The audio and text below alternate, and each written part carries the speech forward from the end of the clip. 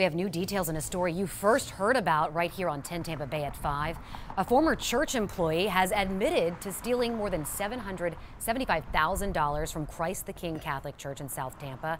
This was over the course of five months. In a signed plea deal with the U.S. Attorney's Office, Heather Darrey agreed to plead guilty to wire fraud and then pay all of that money back. In the agreement, prosecutors say Darrey used her position in the church's finance department to cut checks made out for legitimate church services that Christ the King's pastor then signed. They say she destroyed those checks and then wrote checks, handwritten checks for the same amount to pay credit card bills, pay her mortgage, buy concert tickets, luxury items, and more. When confronted by church leaders, prosecutors say Darrey confessed and begged them not to press charges. A full financial review revealed the scope of the theft, almost a million dollars.